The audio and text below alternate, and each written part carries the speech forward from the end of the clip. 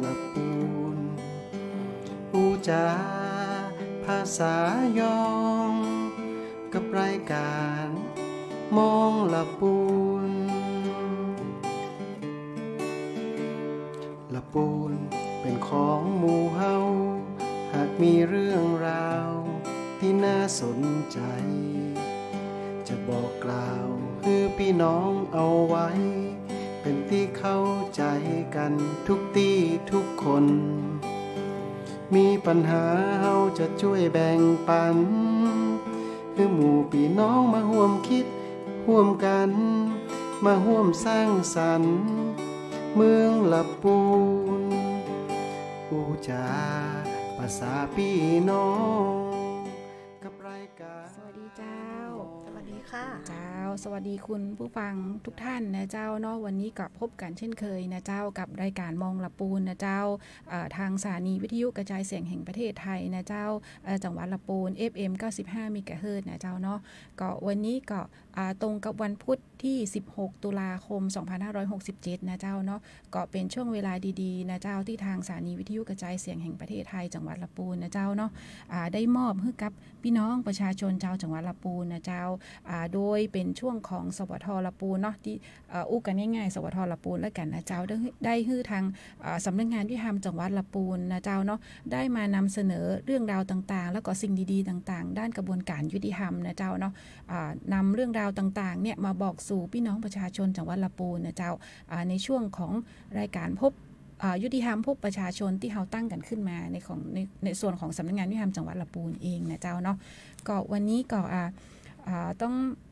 ขอต้อนรับเนาะแขกผู้แขกที่จะมาเข้ารายการวันนี้ก่อนนะเจ้าเนื่องจากวันนี้นะเจ้าเนาะตังอพอรัชนีกันท่าสีนะเจ้าเป็นผู้ในการสำนักงงาน คุมประพฤติจังหวัดละปูนนะเจ้าปฏิบัติหน้าที่ท่านยุติธรรมจังหวัดละปูนโดยวันนี้ท่านติดภารกิจราชการเอาหลายงานเลยนะเจ้าเนาะเกิดวันนี้ก็เลยมอบหมายให้เป็นน้องนุ่นนะเจ้าคนเดิมนะเจ้าเป็นผู้ดำเนินรายการนะเจ้าจื่อนางสาวนภาพรเคือนคำตำแหน่งนักวิชาการยุติธรรมจากสำนักงานยุติธรรมจังหวัดละปูนนะเจ้า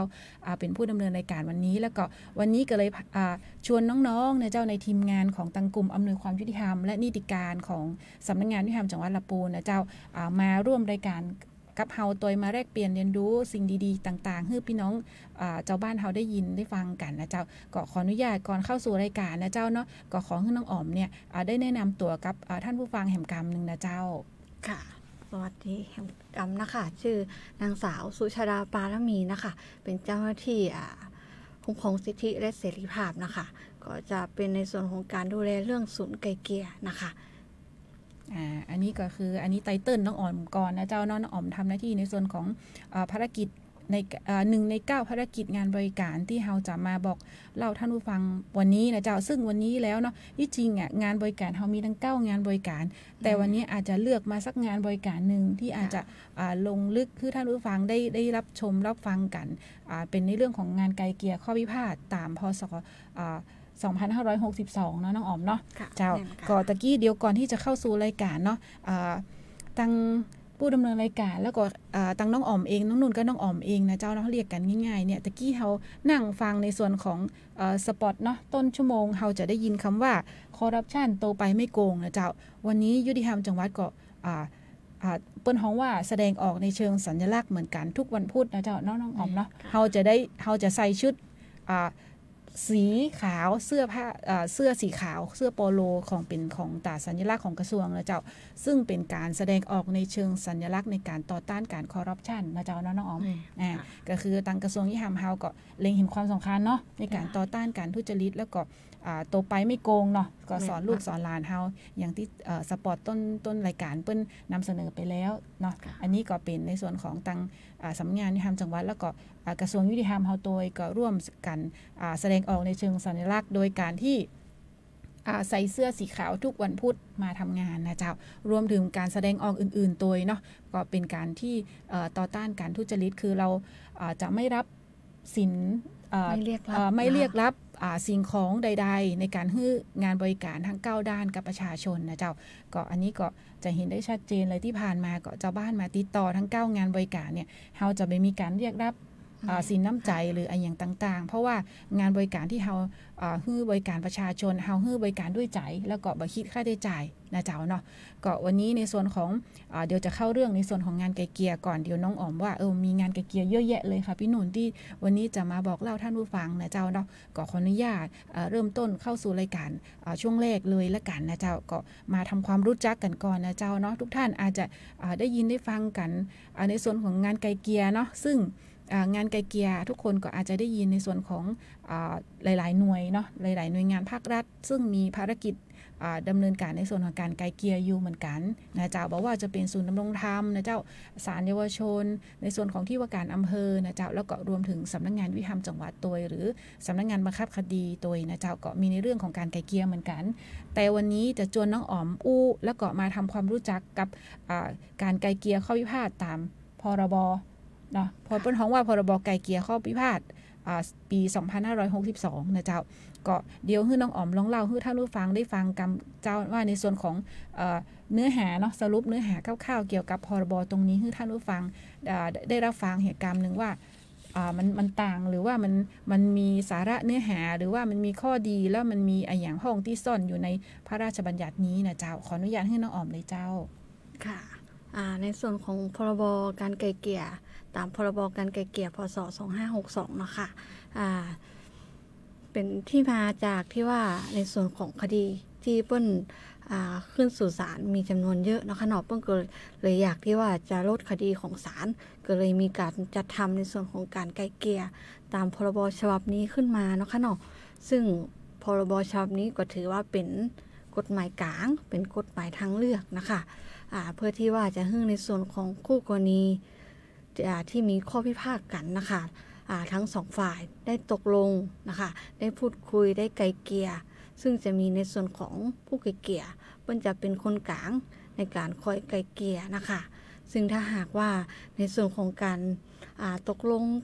การไกลเกลี่ยกันนะคะเปิ้นจะมีในส่วนของการทำบันทึกข้อตกลงนะคะเนาะซึ่งการทำบันทึกข้อตกลงอะค่ะมันจะมีสภาพบังคับตามกฎหมายนะคะ อืมเจ้า แล้วในส่วนคดีล่ะคะน้องอ๋อมมีคดีไหนพงที่สามารถเข้าสู่พระราชบัญญัติไกลเกียนี้ได้กับว่าบ่ได้จาขออนุญาตน้องอ๋อมได้ยกตัวอย่างคดีที่แบบเกี่ยวข้องเพื่อเนาะเพื่อตังท่านผู้ฟังได้ฟังแล้วเอ๊ะอยากจะเข้ามาสู่กระบวนการของการไกลเกียตามพระราชบัญญัตินี้เนาะก็จะได้รู้ว่าคดีไหนประเภทไหนที่สามารถไกลเกียได้หรือบ่ได้เจ้าค่ะ ในส่วนของอข้อพิพาทที่ว่าสามารถไกลเกลี่ยได้เนาะค่ะก็จะมีในส่วนของข้อพิพาททางแพ่ง แล้วก็ข้อพิพาททางอาญาเนาะค่ะข้อพิพาททางแพ่งก็จะเป็นในส่วนของที่ดินเนาะค่ะเนาะที่ว่าว่าเกี่ยวกับกรรมสิทธิ์นะคะข้อพิพาทที่เกี่ยวกับอ่ามรดกนะคะระหว่างทายาทค่ะ และก็ข้อพิพาททางแพ่ง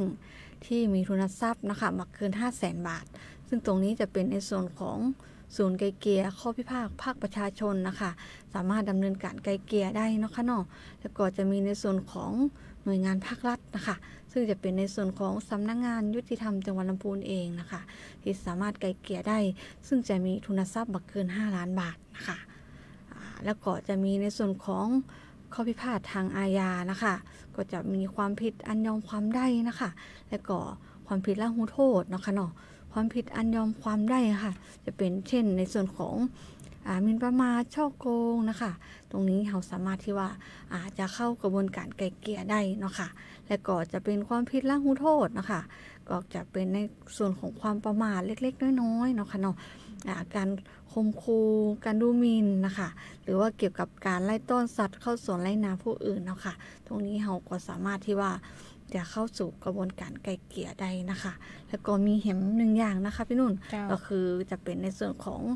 อ่าข้อพิพากษาทางอาญาในชั้นสอบสวนนะคะเนาะซึ่งตรงเนี้ยค่ะ จะมีในส่วนของอ่าพนักงานสอบสวนเจ้าเปิ้นจะเป็นผู้ดำเนินการในส่วนของการไกลเกลี่ยนะคะซึ่งเปิ้นจะอ่าดูในส่วนของความผิดอันยอมความได้ความผิดละหูโทษนะคะ แล้วก็จะมีเพิ่มเติมมาแหมก็คือจะเป็นความผิดที่ว่ามีโทษจำคุก ไม่เกิน 3 ปีเนาะค่ะ ซึ่งตรงเนี้ยค่ะอ่าชั้นพนักงานสอบสวนเปิ้นจะอ่าเป็นผู้ดำเนินการไกลเกลี่ยค่ะพี่นนท์อืมอันค่ะแสดงว่าตอนที่พี่นุ่นฟังน้องอ๋อมอู้มาในส่วนของพรบไกลเกลี่ยอู้ง่ายๆเนาะเจ้าเนาะก็จะมีอยู่ทั้งอ่าหนึ่งมีทั้งศูนย์ไกลเกลี่ยโดยค่ะที่ใจพรบนี้ตามแม่พรบนี้ได้เนาะค่ะมีทั้งตำรวจโดยแม่นก็ค่ะ แต่อยู่กันเอ่อคนละชั้นแม่นก็ คนละเอ่อคดีแม่นก็เจ้าค่ะ ในส่วนของอ่าในส่วนของศูนย์ไกลเกลี่ยนะคะเนาะมันจะเป็นศูนย์ไกลเกลี่ยภาคประชาชน ซึ่งตรงเนี้ยอืมเราได้อ่าดำเนินการขึ้นทะเบียนทั้งอ่าที่อยู่ในส่วนของทางเทศบาลเอง แล้วก็ของสถานีตำรวจค่ะ ซึ่งในส่วนของสถานีตำรวจอะค่ะเปิ้นๆจะแบ่งเป็นอ่าตามตามภาษาที่ ง่ายๆเนาะคะเนาะก็คือหมวด 4 กับหมวด5อะค่ะ ซึ่งอ่าในส่วนของศูนย์ไกลเกลี่ยภาคประชาชนเราจะอยู่ในหมวด 5 ซึ่งจะไกลเกลี่ยได้ทั้งทางแพ่งแล้วก็ทางอาญาเจ้าค่ะ แล้วก็หมวด 4 หมวด 4 ก็คือจะเป็นในส่วนของตำรวจ ซึ่งมันอืมมันจะเป็นในส่วนของทางอาญาแล้วก็จ้ะซึ่งจะเพิ่มในส่วนของอาชั้นพนักงานสอบสอบสวนค่ะ ซึ่งมันจะมีด้วย 6 6อ่ามาตราที่เพิ่มมาค่ะอืมอันนี้ก็คือในส่วนของพ ระราชบัญญัติไกลเกลี่ยข้อพิพาทปีประจำปีเอ่อพศ 2562 เนาะนี่ที่มีในส่วนของศูนย์ไกลเกลี่ยโดยแล้วก็ตำรวจโดยที่เอ่อใช้ตามใช้สามารถที่จะอ่าใช้ตามพรบนี้ได้เนาะแม่นแล้วถามว่าศูนย์ไกลเกลี่ยเนี่ยน้องอ๋อมเอ่อในละปูนเฮาเนี่ยเอ่อมีมีมีเต้าใดหรือว่าตั้งอยู่ที่ไหนห้องเจ้า ถ้าตำรวจนี่เฮาฮูแล้วเนาะว่าแม่นเอ่อในส่วนของสพอ่าค่ะ ในพื้นที่ของของจังหวัดละปูนมีมีมีสิบ12สิบสองแห่งค่ะในพื้นที่12นะเจ้าแต่ศูนย์เอ่อไกลเกลี่ยข้อพิพาทซึ่งบางท่านนะเจ้าเนาะสะดวกอาจจะไปใช้บริการ แต่ท่านยังบอกหูเตือว่าอยู่ที่ใดนะเจ้า อันนี้อยู่ครบกุอำเภอกับเจ้าน้องอ๋อมที่ตั้งของศูนย์เจ้าค่ะอ่าปัจจุบันนี้มีครบทุกอำเภอค่ะจ้ะซึ่งค่ะปัจจุบันนะคะพี่หนุ่นตอนปัจจุนี้บันเนาะมีเต้าใดเจ้ามีศูนย์อยู่ทั้งหมด 21 ศูนย์ค่ะ อ๋อยี่สิบเอ็ดศูนย์แม่อันนี้คืออ่ารวม ยี่สิบเอ็ดศูนย์นี่ถือว่าข่อยหรือยังก็ว่าข่อยเต้อก็ว่าต้องเราจะเราจะพัฒนาต่อไปเรื่อยๆมันก็ค่าน้องอ๋อมค่ะ ก็คืออ่าถ้าให้ถ้าดูในส่วนของอำเภอ ครบทั้ง 8 อำเภอค่ะพี่หอ๋นุ่อนครบทั้งแปแต่ดเราอำเภก็อพยายามที่ว่าจะสนับสนุนคืออ่ามีเพิ่มเรื่อยๆเนาะค่ะเนาะเพื่อที่ว่าชาวบ้านจะได้เข้าถึงในส่วนของอ่าพรบตรงนี้เนาะคะเนาะอืมเจ้าอันค่ะ อันนี้ทุกท่านนะเจ้าท่านผู้ฟังอยู่ในเขตตำบลไหนอำเภอไหนนะเจ้าสามารถเข้าไปใช้บริการได้ส่วนใหญ่แล้วศูนย์ไกลเกลี่ยเอ่อข้อพิพาทภาคประชาชนจะประจำอยู่ที่เทศบาลหรือแม่อบตในพื้นที่ของท่านนี่มันก่อค่ะเจ้า แต่ถ้าสมมติท่านยังบันมั่นใจนะเจ้าว่าท่านจะไปถูกหรือหรือว่าเออบันแน่ใจว่าอำเภอท่านมีศูนย์ไกลเกลียตรงนี้ก็ท่านก็ยกหูโทรศัพท์มาสอบถาม ตังยุติธรรมจังหวัดละปูนก็ได้ หรือว่าท่านจะเข้าไปใกล้สุดก็คือ ศูนย์ยุติธรรมชุมชนเฮาเนาะแม่ในเทศบาลค่ะอบตเฮาก็จะมีในส่วนของศูนย์ยุติธรรมชุมชน คอยให้บริการอยู่นะเจ้าซึ่งอ่าทุกท่านเนาะเจ้าเนาะทุกท่านที่รับฟังอ่ารายการมองลำปูนอาจจะอ่าเคยรับฟังขึ้นในส่วนของยุติธรรมผู้ประชาชนมาแล้ว ทุกท่านอาจจะงงว่าศูนย์ยุติธรรมชุมชนก็ศูนย์ไกลเกลี่ยมันมีกี่ศูนย์ล่ำเหลือของยุติธรรมจังหวัดนะเจ้า คือศูนย์ยุติธรรมชุมชนก็ศูนย์ไกลเกลี่ยอ่า ก็คือศูนย์ศูนย์อันเดียวกัน แต่โครงสร้างอาจจะแตกต่างกันเล็กน้อยนะเจ้าในศูนย์ไกลเกียก็อาจจะมีได้แค่5ถึง10 คนแล้วแต่โครงสร้างแต่ศูนย์ยุติธรรมชุมชนเฮามีองค์ประกอบอยู่หลายองค์ประกอบจ้ามีของอมีในส่วนของผู้นำชุมชนก็ศูนย์ไกลเกียก็มีเหมือนกันเนาะแต่ศูนย์ไกลเกียอาจจะมีที่ปรึกษาที่ปรึกษาอาจจะเป็นยุติธรรม จังหวัดอย่างเดียวนะเจ้าแต่ศูนย์ยุติธรรมชุมชนก็มีทั้งนายก นะท่านนายกนะอ่าท่านปกำนันเนาะท่านอ่ายุติธรรมจังหวัดท่านผู้กำกับอีนาจาของแต่ละสพซึ่งอาจจะแตกต่างกันเล็กน้อยแต่อ่าสถานที่ในการจัดตั้งศูนย์ก็คือที่เดียวกันเทศบาลหรือว่าอบตเนาะน้องออมเนาะแม่อันนี้ก็สามารถเข้าไปติดต่อได้นะเจ้าหรือถ้าใกล้ที่สุดเลยอำเภอ หรือศูนย์ดำรงธรรมประจำอำเภอก็ได้ หรือว่าศูนย์ดำรงธรรมจังหวัดก็ได้นะเจ้าเนาะก็อันนี้ก็เป็นในส่วนของคร่าวๆอยู่เม่นก่อนน้องออมมดหรือยังคะในส่วนของพรบ ค่ะในส่วนของพรบหมดแล้วนะคะเนาะแต่เราจะมีในส่วนของอ่าอ่าการไกลเกลี่ยที่ที่เปิ้นเข้ามาในส่วนของปีงบประมาณที่ผ่านมานะคะเนาะเขาจะได้มาหมายถึงว่า รอบรอบปีงบประมาณ 2567 ที่ผ่านมาเนี่ยในการจัดรายการพี่ยุอะพี่นุ่นยังไม่ได้เอามาบอกเล่าท่านผู้ฟังเตือนเนาะว่าผลการดำเนินงานในในด้านของการไกลเกลี่ยมีอย่างพ่อง วันนี้ก็เลยถือโอกาสนะจ๊ะขึ้นน้องอ๋อมมาบอกกล่าวท่านผู้ฟังว่าในปีงบประมาณที่ผ่านมา 6 7 เนี่ยเราตั้งศูนย์ไปแล้วเนาะทั้งสอพอเอ่ยทั้งศูนย์ไกลเกลี่ยข้อพิพาท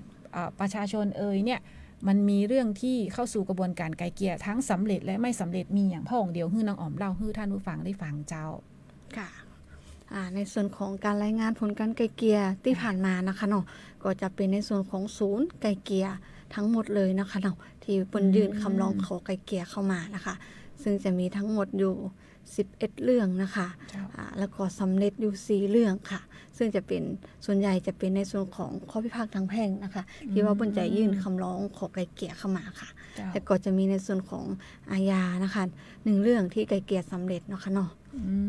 อันนี้ไกลเกลี่ยสำเร็จโดย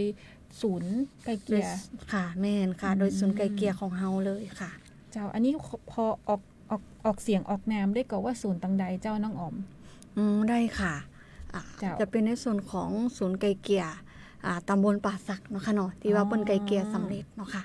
ศูนย์ของไกลไกลบ้านเลยค่ะเทศบาลป่าสักนะเจ้าเป็นของศูนย์ยุติชุมชนโดยเหมือนกันนะเจ้าอันนี้ก็คือเป็นคนการดำเนินงาน ซึ่งตามสถิติคดีแล้วเนี่ยคดีเข้าที่เข้าสู่การไกลเกลี่ยของตามพรบเนี่ยอาจจะมีบ่เยอะเนาะน้องอ๋อมเนาะก็คือว่าเฮาก็อาจจะอนุมานได้ได้หลากหลายได้ได้หลายอย่างนะเจ้าคืออันดับแรกคือ เปิ้นอาจจะเดินทางไปที่หน่วยงานอื่นโดยเนาะ เพราะว่าไม่ใช่ว่ามีแต่ยุติธรรมที่ทำในเรื่องของการไกลเกลี่ยในส่วนของศาลเยาวชนและครอบครัว ในส่วนของศูนย์ดำรงธรรมจังหวัด ศูนย์ดำรงธรรมอำเภอ แล้วก็ที่ว่าการอำเภอแหมก็มีในส่วนของการไกลเกลี่ยเหมือนกันเนาะน้องอ๋อมค่ะจะเป็นการไกลเกลี่ยก่อนฟ้องก่อนฟ้องมันก็เลยทำให้สถิติในส่วนของการไกลเกลี่ยของภาคประชาชนที่เข้ามาตามที่เปิ้นทับเรื่องเนี่ยอาจจะมีค่อนข้างไปเยอะนะเจ้ากันนี้คืออันนี้เขาอนุมานได้คือข้อแรกอยู่ ข้อที่2เขาอนุมานได้ว่าเรื่องมันอาจจะบ่มีในส่วนของการไกลเกลียเนาะก็แสดงว่าในพื้นที่ของจังหวัดละปูนเองนะเจ้าเนาะก็ไม่ได้มีคดีความถึงขั้นที่จะต้องไปไกลเกลียหรือขั้นไปถึงโรงถึงศาลเนาะอันนี้ก็ถือว่าเป็นการเฮาก็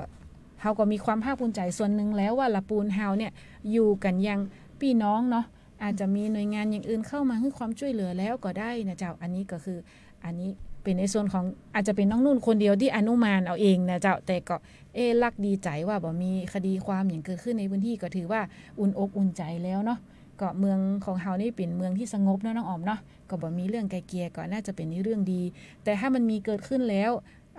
ก็จะมีหน่วยงานหลาย ๆ หน่วยงานที่น้องนำเรียนไปแล้วว่าเปิ้ลมีในส่วนของภารกิจในการตั้งรับอยู่นะเจ้าอย่างกับตะวาเนาะน้องออม คืออในส่วนของตะกี้ที่อู้ไปละมีของศาลเยาวชนและครอบครัว แต่ว่าถือว่าเป็นนิมิตหมายวันดีโดยเนาะวันก็คือว่าวันดีในส่วนของตังทีมงานของตังสำนักงงานยุติธรรมจังหวัดนำนำนำทีมโดยท่านผอแมมรัชนีกันทศรีนะเจ้าตะวานี่ได้เข้าไปเขาร่วมประชุมกับทางท่านหัวหน้าศาลเยาวชนและครอบครัว ถือว่าเป็นนิมิตใหม่อันดีเนาะน้องอ๋อม อันนี้อยากให้น้องอ๋อมนำ เล่าให้ท่านผู้ฟังฟังฟังกรรมเนาะเพราะแต่ว่าเนี่ยพี่นุ่นอาจจะติดภารกิจเลยเลยไม่ได้เข้าร่วมการประชุมตรงนั้นโดยอาจจะเงื่อนน้องอ๋อมนำเรียนนิดนึงว่าในส่วนของศาลเยาวชนเองที่เราไปร่วมงานตะวาหรือหารือกันตะวาเกี่ยวข้องหรือว่าทำงานเกี่ยวข้องอะไรอย่างกัน ลักษณะไหนเจ้าค่ะแต่ว่าในส่วนของอทางสำนักงานยุติธรรมนะคะนำโดยท่านอพอราชนีนะคะแล้วก็ด้วยกลุ่มงานอำนวยการยุติธรรมนะคะ และนิติการเนาะคะ่ะเราได้ไปร่วมในส่วนของศาลเยาวชนและจังหวัดลำพูนนะคะ เพื่อที่ว่าจะหารือในส่วนของการทำ MOU และก็เป็นการส่งต่อภารกิจงานกันเนาะค่ะเนาะว่าในส่วนของกลุ่มอำนวยมีภารกิจงานด้านไหนพ้อง และก็สามารถที่ว่าจะร่วมกับในส่วนของทางศาลเยาวชนและครอบครัวค่ะในส่วนของการทำงานเพื่อส่งต่อภารกิจงานค่ะกันค่ะ ซึ่งในส่วนของทาง ศาลเยาวชนเองนะคะเนาะเพิ่งก็มีในส่วนของ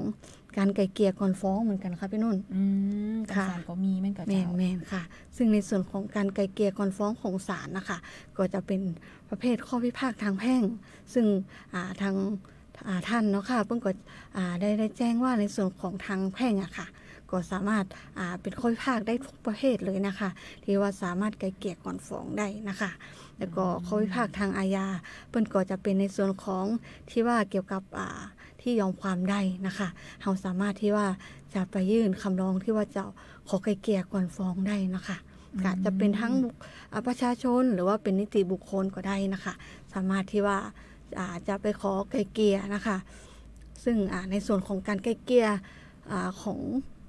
ทางศาลนะคะเปิ้นจะเป็นการทำสัญญาปณีประนอมยอมความเนาะคะเนาะซึ่งทางศาลเองเปิ้นก็มีผู้ไกลเกลี่ยนะคะที่ว่าจะดำเนินการในส่วนของการไกลเกลี่ยตรงนี้อยู่เหมือนกันค่ะพี่นนท์ค่ะแต่แต่ในส่วนของศาลเยาวชนและครอบครัวเองเนี่ยเปิ้นมีในส่วนของผู้ไกลเกลี่ยอยู่แล้วเนาะแต่ของเฮาก็มีแม่นก่อนน้องน้องอ๋อมแม่นค่ะ ในส่วนของผู้ไกลเกลี่ยของเฮานะคะที่ขึ้นตามพรบการไกลเกลี่ยฉบับนี้เนาะค่ะอ่าณปัจจุบันนะคะอ่าเฮามีอยู่ทั้งหมด 64 ท่านนะคะอืม64ท่านนี้ถือว่าทุกท่านได้ผ่านการอบรมตามพระราชบัญญัติการไกลเกลี่ยแล้วแล้วก็หลักสูตรนี้เข้มข้นเลยมันก็ค่ะน้องอ๋อมค่ะ จะเป็นหลักสูตรอ่าอบรม5วันนะคะอืมห้าวันซึ่งทุกท่านสามารถใช้บริการคือรู้สึกว่าข้อดีของพระราชบัญญัติการไก่เกียตรงนี้คือ ผู้ไก่เกียนี่เฮาสามารถ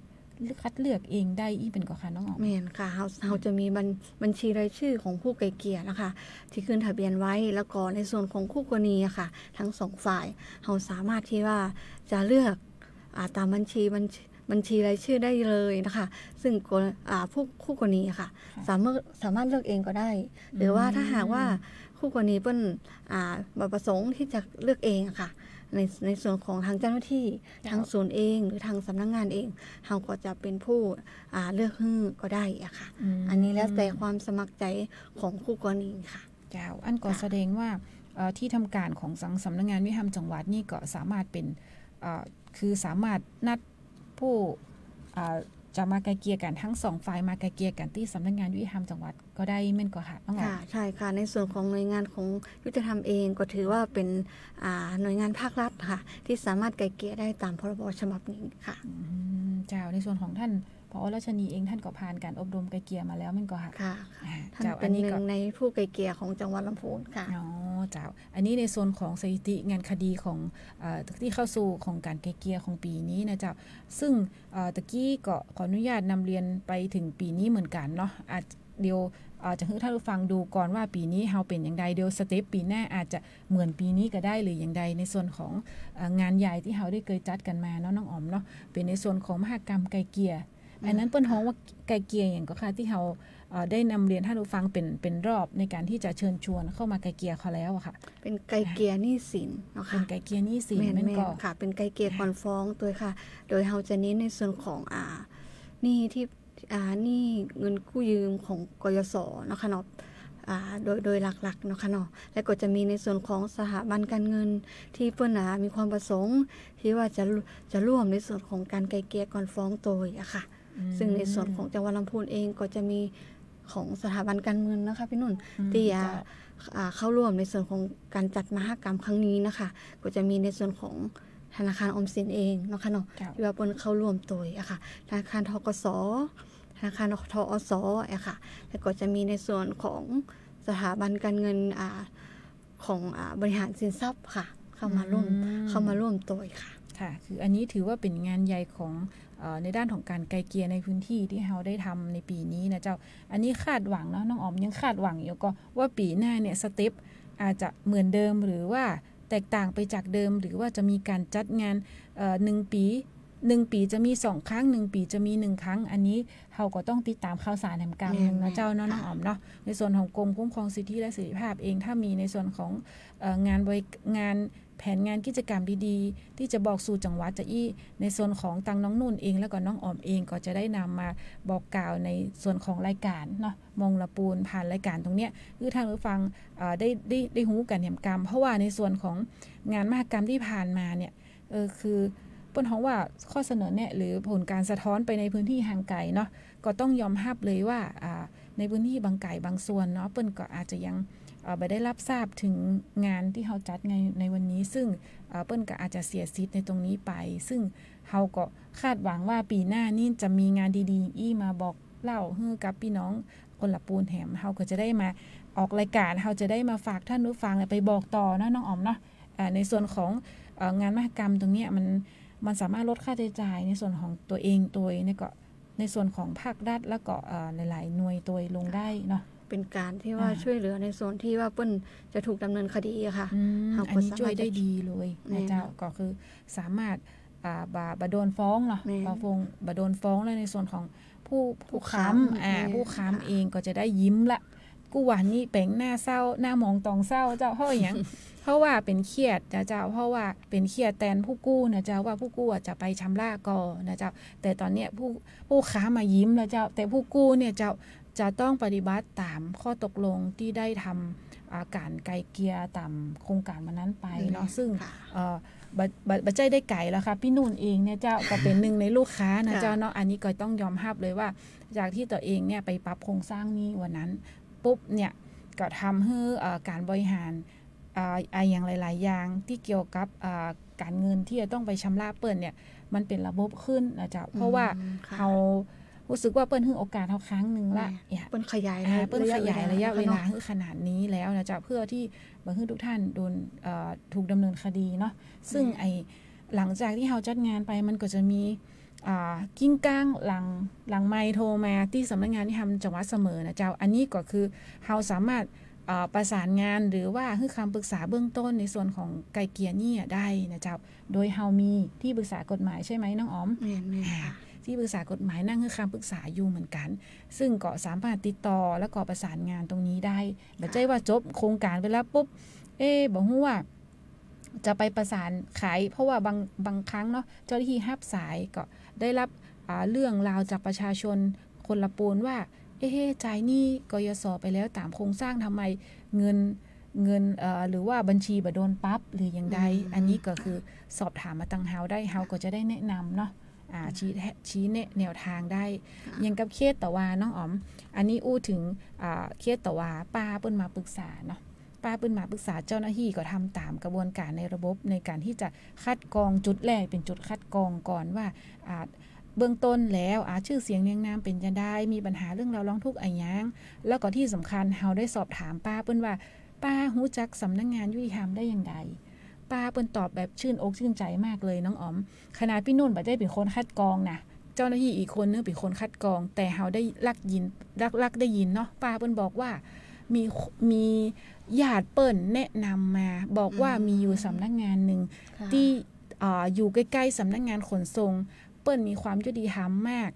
อ่าแต่บอกว่าชื่อหน่วยงานอันอย่างให้ไปติดต่อดูเปิ้นสามารถให้ความช่วยเหลือได้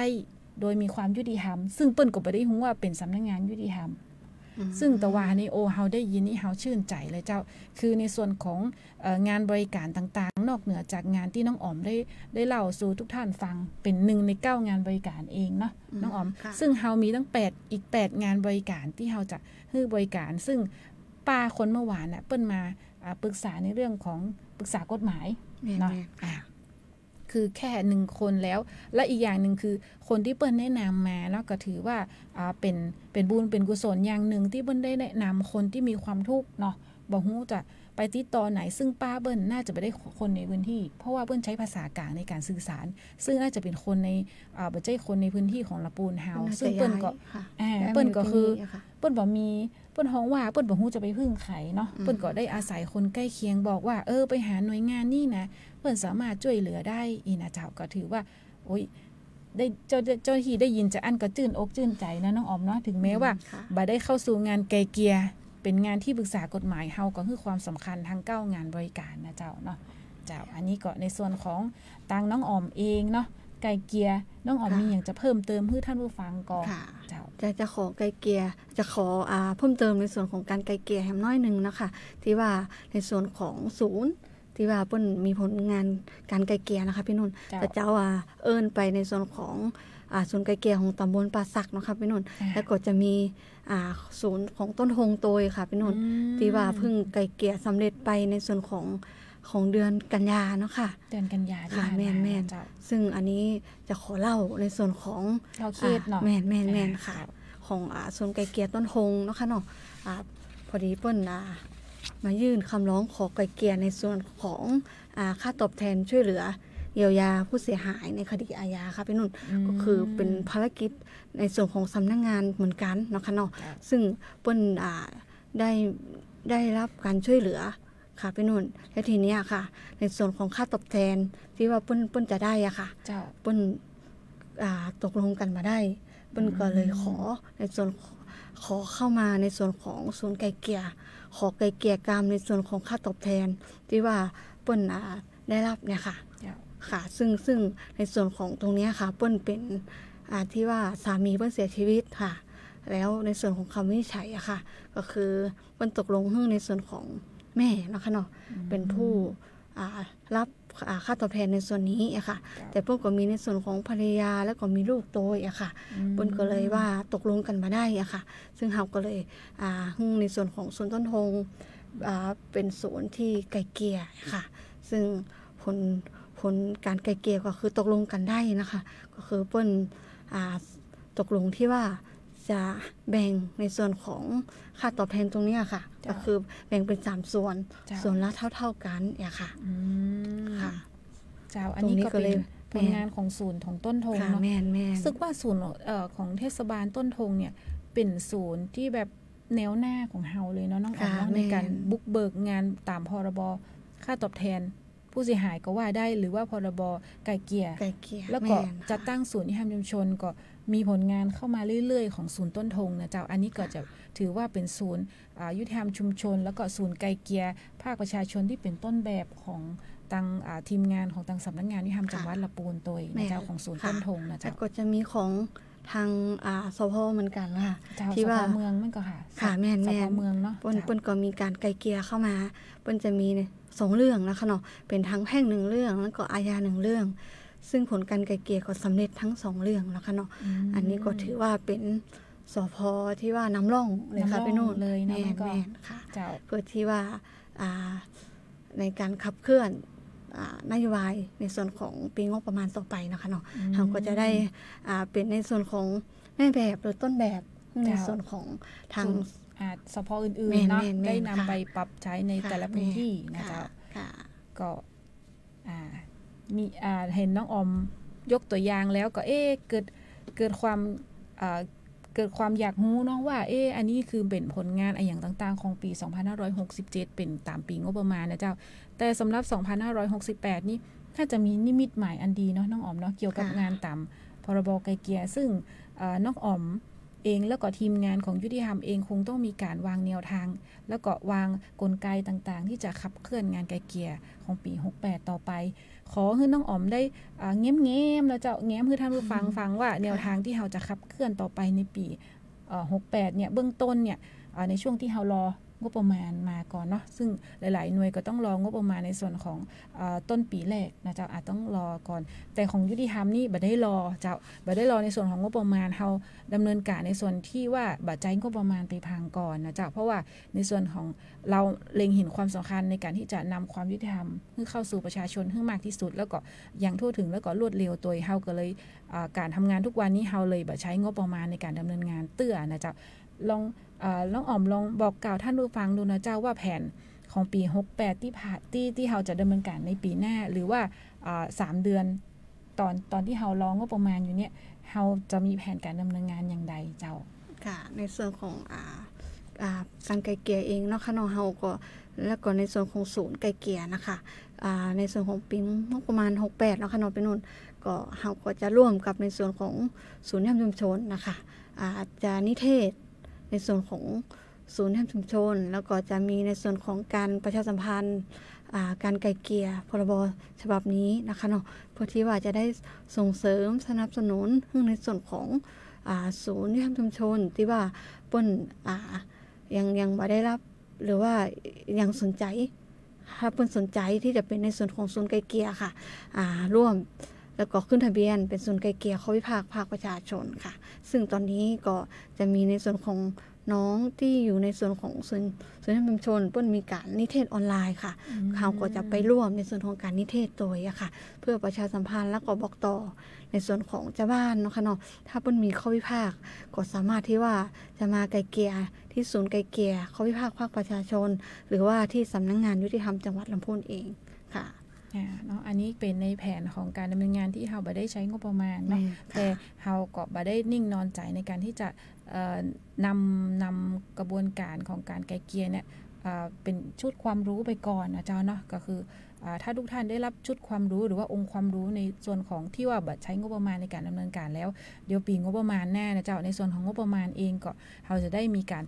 วางแผนในการลงพื้นที่เนาะอันนี้อาจจะเป็นในส่วนของการภาคของการลงพื้นที่ แต่ตอนนี้เรานิเทศแบบออนไลน์ไปก่อนร่วมกับศูนย์ยามชุมชนนะเจ้า ซึ่งในส่วนของหน่วยงานภาครัฐเอง หรือว่าหน่วยงานไหนเองนะเจ้าก็ในส่วนของงบปีหน้าเนาะก็คือว่าถ้าท่านได้มีแผนงานในการที่จะอบรมลูกบ้านท่านเอง หรือว่าอบรมเจ้าหน้าที่หน่วยงานภาครัฐเอง อยากให้มีความรู้ในเรื่องของการไกลเกียก็ ยินดีเนาะทางสำนักงานที่ทำจังหวัดเอง แล้วก็ทางทีมงานของน้องออมเองก็ยินดีที่จะ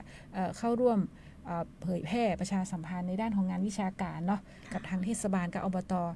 ทุกแห่งเลยในพื้นที่ของละปูนเฮาที่แจ้งความประสงค์มาเนาะอันนี้ก็จะเป็นอีกแผนงานเบื้องต้นก่อนนะเจ้าก่อนได้ดำเรียนท่านผู้ฟังไปแล้วนะเจ้าเนาะเจ้าก็เอหันอู้เรื่องงานไกลเกียนี่ที่จริงเนี่ยมันมันมันก็มีอีก อีกหลายอย่างนะเนาะน้องออมที่จะต้องเล่าสู่ท่านผู้ฟังฟัง ซึ่งบางเรื่องอะการไกลเกียเองเนี่ยอ่าเปิ้นฮ้องว่ามันก็มันก็คือจะสำเร็จได้หรือว่าว่าบ่สำเร็จได้อะก็ต้องขึ้นอยู่กับบุคคลสองฝ่ายเนาะน้องออมเนาะเพราะว่าจากสถิติที่น้องออมนำเรียนไปแล้วเนี่ยอาจจะมีเรื่องไกลเกียเนี่ยค่อนข้างที่สำเร็จเนี่ยจะน้อยแต่บัตรสำเร็จเนี่ยก็เยอะ เพราะว่าส่วนหนึ่งแล้วเนี่ยก็ขึ้นอยู่กับคู่กรณีทั้งสองฝ่ายโดยเนาะอันนี้ก็คือว่า ถ้าตกลงกันได้ซึ่งที่จริงแล้วนะ่ะการเข้าสู่กระบวนการไกลเกียมันมีข้อดีนะเจ้าก็คือประหยัดเวลาเนาะก็คือเรื่องทุกอย่างประหยัดทั้งเวลาประหยัดค่าใช้จ่าย ทั้งในของตนเอง และก็หน่วยงานภาครัฐโดยในการนำคดีต่างๆ เข้าสู่กระบวนการศาลกับลดขั้นตอนอันอย่างหลาย ๆ อย่างโดยอันนี้ก็จะเป็นข้อดีของพรบไกลเกียที่เราได้ทำอยู่นะเจ้า อันนี้แค่หนึ่งในเก้าภารกิจนะน้องออมเนาะ ก็ก็คือภารกิจหนึ่งหนึ่งในแปดเรายังมีแหมหลายหน่วยที่จะมาเล่าให้ท่านผู้ฟังฟังนะเจ้าซึ่งปีงบประมาณนี้เรายังอยู่กันต่อเนาะน้องออมเนาะช่วงของอ่ากำลังต้นต้นปีงบประมาณเนี่ยเอ๊ตังยุติธรรมคบประชาชนเนี่ยก็ก็จะมีมาเรื่อยๆแล้วก็เบื้องต้นแล้วก็ต้องขอนำเรียนกับท่านยุติธรรมจังหวัดว่าเราอาจจะมีการซับเปลี่ยนหน่วยงานเนาะในสังกัดเฮาเนี่ยเข้ามาร่วม ฮือองค์ความรู้เพราะว่าบัจเจ้ว่ามีสำนักงงานยุติธรรมจังหวัดอยู่กับคุ้มครองสิทธิ์ซึ่งกรมคุ้มครองสิทธิและเสรีภาพก็อยู่ด้วยกันนะจากของน้องออมนี่ก็คือสังกัดกรมคุ้มครองสิทธิและเสรีภาพเหมือนกัน แต่ก็อยู่ในอาคารเดียวกับสำนักงานยุติธรรมจังหวัดนะเจ้าเนาะก็คือจะมีหน่วยงานทั้งกับในสังกัดกระทรวงยุติธรรมในพื้นที่เฮามีตั้งหลายหน่วยงานนะเจ้าก็คือหน่วยงานที่เฮาเปิ้นท้องว่า ทำงานหรือว่าบูรณาการได้เยอะที่สุด เพราะว่าท่านยุติธรรมจังหวัดเป็นพออยู่ก็คือตังสำนักงานคุมประพฤติเองนะเจ้าซึ่งที่ผ่านมานะเจ้าเนาะตังสำนักงานวิธรรมจังหวัดเนี่ยนอกเหนือจากภารกิจทั้ง 9 งานเนี่ยเขาก็มีความเป็นจิตอาสานะน้องอ๋อมเนาะก็คือเห็นอย่างกับอาทิตย์ที่แล้วเนาะก็คือเฮามีความเป็นจิตอาสาทั้งเจ้าหน้าที่เองนะเจ้าทั้งอาสาสมัครคุมประพฤติหรือว่าตังเจ้าหน้าที่ของคุมประพฤติเอง เฮาก็ได้ทำงานร่วมกันในการเป็นจิตอาสาช่วย ช่วยเหลืออย่างคะน้องอ๋อม ช่วยเหลืออ่าผู้ที่ว่าประสบภัยน้ำท่วมผู้ประสบภัยน้ำท่วม คือติดอาทิตย์ที่ผ่านอาทิตย์แล้วเนาะเฮาได้ไปทำไปช่วยลงครัวตั้งแม่ครัวเนาะตั้งตั้งตั้งเส้นไหนประตูปลาอ่าเส้นประตูปลากับหนองช้างคืนนะเจ้าซึ่งหนึ่งในนั้นผู้ประสบภัยก็เป็นเจ้าหน้าที่เราเองเนาะแม่ค่ะ เจ้าที่เขาหน่วยงานเราเองเขาก็บรอดค่ะเป็นผู้ประสบภัยเหมือนกันนะเจ้าซึ่ง ในส่วนของสภาพกำลังของเจ้าหน้าที่ยุติธรรมเองเนาะก็เจ้าที่เฮาจะมีไปเยอะเนาะมีสักสิบท่านในสำนักงงาน ซึ่งใจเฮาเนี่ยไปแล้ว แต่กายเฮาเนี่ยมันไปบ่ไหว เพราะว่าไหนจะแบ่งส่วนหนึ่งทำงานที่สำนักงงานเอง เพื่อที่ว่าเพื่อที่ว่าเจ้าบ้านจะมาปรึกษาเนาะอีกส่วนหนึ่งใจเฮาก็อยากไปช่วยกันฟื้นฟูแล้วก็พัฒนาภูมิทัศน์ของของที่น้ำท่วม แต่ก็เฮาก็เอาแต่เฮาอะทำมาได้เฮาก็ได้ส่งแรงใจ ไปส่งตัวแทนของเจ้าหน้าที่ไปทำกับข้าวเนาะไปเลี้ยงกันกับร่วมกับอาสาสมัครคุมพืชกับเจ้าที่ของคุมพืชตัวนะอันนี้ก็คือเป็นหนึ่งในงานจิตอาสาที่เราได้ทำร่วมกันโดย แล้วก็เดียววันสองวันนี้เราก็จะได้ไปช่วยเหลือตังพี่น้องตังบ้านใหม่สมณะเหมือนกันนะจ๊ะอันนี้ก็เป็นเป็นภารกิจที่เขาได้รับมอบหมายนอกเหนือจากเก้าภารกิจงานบริการเรายังมีความเป็นจิตอาสาช่วยเหลือเนาะในส่วนของ ทุกพื้นที่เลยเฮาก็หลังจากที่น้ำลดแล้วหลังจากที่ผ่านพ้นของช่วงน้ำท่วมไปแล้วเฮาก็คือกำลังใจกันเนาะน้องออมเนาะเนาะในส่วนของอทุกท่านเนาะที่มีปัญหาหลังจากที่น้ำท่วมไปแล้วเนาะอาจจะออย่างที่พออนำเรียนไปการจัดรายการในครั้งที่แล้วว่ากรณีที่บ้านไหนเนาะอาจจะเปิ้นท้องว่าใบชโนที่ดิน แจ่น้ำปิวน้ำเนาะตกน้ำไปไหลไปกับน้ำหรือว่า เอกสารในส่วนของทางราชการของท่านนะเจ้าเปียน้ำหรือว่าถูกทำลายไประหว่างที่ถูกน้ำท่วม ท่านจะทำยังไงดีนะเจ้าอันนี้เลยนะเจ้าก็คือตังโทรมาสอบถามตังยุติธรรมก็ได้นะเจ้าเนาะก็ยังฮื้อคำปรึกษาอยู่ว่า ในกรณีที่เอกสารท่านหายหรืออย่างใดท่านจะต้องไปติดต่อหน่วยงานไหนนะเจ้าเนาะอันนี้ก็ฮื้อเฮาก็ฮื้อบริการหลังจากน้ำลดได้เนาะที่จริงใจเฮาไปแล้วเฮาอยากไปช่วย แต่ด้วยที่ว่าสภาพกำลังนั่นแหละเจ้าเจ้าที่ก็เป็นไม่ยิงมดเลยเนาะใจก็ไปละ แต่เอร่างกายเฮาไปบ่ได้เนาะเป็นไม่ยิงเดียวจะไปเป็นภาระเปิ้นเนาะเฮาก็ช่วยงานบริการด้านอื่นเอาหลังน้ำลดเอาก็ได้ หรือว่าทางจังหวัดเองเออเปิ้นมีกิจกรรมในส่วนของจีนอาสาเองทางยุติธรรมจังหวัด แล้วก็ทางหน่วยงานในสังกัดเฮาก็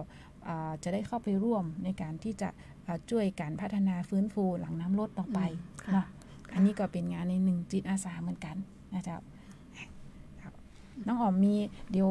แอบจะเหลือบเห็นเวลาแล้วเนาะก็อาจจะล่วงเลยมาก็ยังมาถึงใต้ที่สุดของที่สุดเตื้อ แต่ก็จะขออันขออนุญาตให้น้องอ๋อมฝากในส่วนของงานคุ้มครองซีดไว้เห็นน้อยหนึ่งก่อนที่เขาจะอู้กันไปเรื่อยๆเดี๋ยวก่อนจะหมดเวลาเดี๋ยวมัน เดี๋ยวถึงตอนใต้แต่เอ๊เขาไปได้อู้กันสักกรรมอีนะเจ้าน้องอ๋อมมีอย่างจะฝากถึง ท่านผู้ฟังทิ้งท้ายหรือว่าอาจจะอ่าอย่างเจ้าเนาะเชิญเลยค่ะ ในส่วนของงานของกรมคุ้มครองสิทธิ์เองเนาะค่ะเนาะอ่านอกจากงานไกลเกลี่ยแล้วนะคะ ก็จะมีในส่วนของอ่างานช่วยเหลือค่าตอบแทนนะคะ ผู้เสียหายในคดีอาญานะคะ ซึ่งตรงนี้เขาจะช่วยเหลือผู้ที่ตกเป็นเหยื่อในคดีอาญานะคะ และก็ไม่มีส่วนกับการกระทำความผิดนะคะเนาะซึ่งก็จะมีในส่วนของการถูกฆ่า ถูกทำร้ายนะคะ ถูกข่มขืนนะคะทั้งความผิดที่ต่อชีวิตร่างกาย หรือทอดทิ้งเด็กคนเจ็บป่วยหรือว่าคนชราที่ถูกทำร้ายนะคะเราสามารถที่ว่าจะมายื่นขอรับค่าตอบแทนในส่วนของพรบฉบับนี้ได้นะคะเนาะซึ่งเราจะมีในส่วนของทางสถานีตำรวจเอง ที่เพิ่นจะส่ง ส่งเรื่องส่งต่อมาที่สำนักงงานยุติธรรมจังหวัดนะคะ หรือว่าจะเป็นในส่วนของที่ว่าทั้งท่านสามารถเข้าโทรเข้ามาปรึกษาก่อนก็ได้ค่ะว่าในส่วนของอกรณีของท่านสามารถเข้าในส่วนของพรบฉบับนี้ก่อนนะคะ ซึ่งท่านสามารถเข้ามายื่นแจ้งสิทธิ์นะคะ ขอรับเงินช่วยเหลือเยียวยาตรงนี้ได้ที่สำนักงาน ยุติธรรมจังหวัดลำพูนนะคะเนาะซึ่งระยะเวลาในส่วนของ การยื่นนะคะ ก็คือภายในหนึ่งปีนะคะนับจากที่ผู้เสียหายได้รู้ถึงการกระทำความผิดนะคะเนาะแล้วก็ในส่วนของผู้เสียหายเองก็จะมีในส่วนของจำเลยตัวค่ะพี่นุ่น ซึ่งในส่วนของจำเลยก็สามารถที่ว่าจะมาขอรับเงินช่วยเหลือตรงนี้ได้นะคะ ซึ่งในส่วนของจำเลยก็จะเป็นในส่วนที่ว่าต้องมีคำพิพากษาของศาลที่เป็นอันถึงที่สุดแล้วนะคะ ว่าจำเลย ไม่มีความผิดนะคะเนาะก็สามารถที่ว่าจะมายื่นอ่าอารับในส่วนของค่าตอบแทนตรงนี้ได้นะคะ จะเป็นในส่วนของค่าชดเชยการถูกจำคุกเนี่ยค่ะ ในส่วนของจำเลยนะคะ ซึ่งภาษาจะว่าประกอบว่าเป็นแพะอะค่ะ ตรงนี้ก็สามารถที่ว่าจะเข้ามาอายื่นที่สำนักงงานได้ค่ะพี่นนท์ค่ะเจ้าอันนี้ก็เป็นภารกิจโดยตรงของทางกรมคุ้มครองสิทธิและเสรีภาพที่ฝากท่านผู้ฟังไว้นะเจ้าซึ่งสถิติก็ ปาใช่ย่อยเหมือนกันเนาะในการที่ว่าเฮาฮื้อบริการแล้วมีเจ้าบ้านมาปรึกษาหรือว่ามายื่นขอรับความช่วยเหลือตรงนี้ก็หลักร้อยเหมือนกันเนาะน้องอ๋อมค่ะเนาะเพราะว่าเดือนประจำปีงบเดือนประหมาณนึ่งค่ะเฮาอะก็ประชุมก็มาตามกว่าสิบเรื่องเนาะค่ะเนาะที่ว่าเราจะเอาเข้าในส่วนของการพิจารณาค่ะจ้ะซึ่งในส่วนของอาการประชุมก็จะมีในส่วนของทางท่านผู้ว่านะคะเพื่อนจะเป็นประธานในส่วนของการอ่าพิจารณาอ่าค่าตอบแทนตรงนี้ค่ะ อืมเจ้าเนาะอันนี้ก็ต้องฝากท่านผู้ฟังไว้ก่อนนะเจ้าในส่วนของการขยายความในเรื่องของเออพรบตามที่น้องอ๋อมได้นำเรียนไปเป็นพรบค่าตอบแทนผู้เสียหายแม่เองแม่หรือว่าจำเลยเองเนี่ยนะเจ้าเดี๋ยวอ่าในช่วงรายการในในวันต่อๆไปเนาะเราก็จะได้นำมาเจาะลึกลงไปในแต่ละงานบริการแห่งกรรม แต่วันแต่วันนี้ในส่วนของเอองานของภารกิจด้านการไกลไกลเกลียที่น้องอ๋อมได้ฝากไว้ก็คง คงจะมีแต่เพียงเต้าอี้ก่อน แต่ถ้าทุกท่านนะเจ้ายังยังยังมีความคาดเคลื่อนหรือยังมีความบ่เข้าใจอย่างใดก็ติดต่อไปทางสำนักงานยุติธรรมจังหวัดได้นะเจ้าเนาะก็ตอนนี้ก็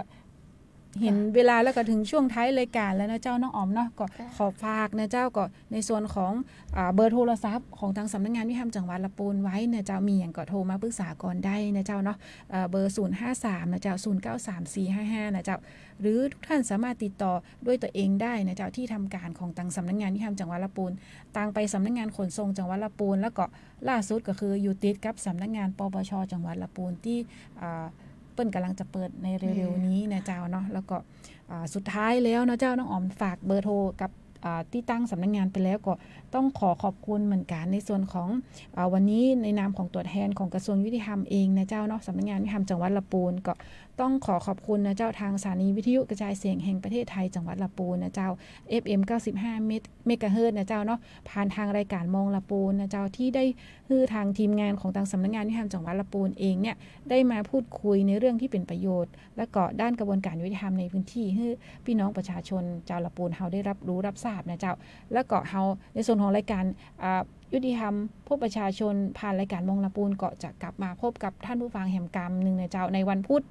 นะวันพุธที่ยิมเอ่อวันพุธที่ 30 ตุลาคมนะเจ้าช่วงเวลาก็คือเหมือนเดิมนะเจ้า 13นาฬิกาถึง 14นาฬิกาโดยประมาณนะเจ้า แต่สำหรับวันนี้แล้วก็น้องนุ่นกับน้องออมเองก็ต้องขอลาท่านผู้ฟังไปเพียงเท่านี้ก่อนนะเจ้า สวัสดีเจ้าค่ะกันมาแบบเบาโบราณ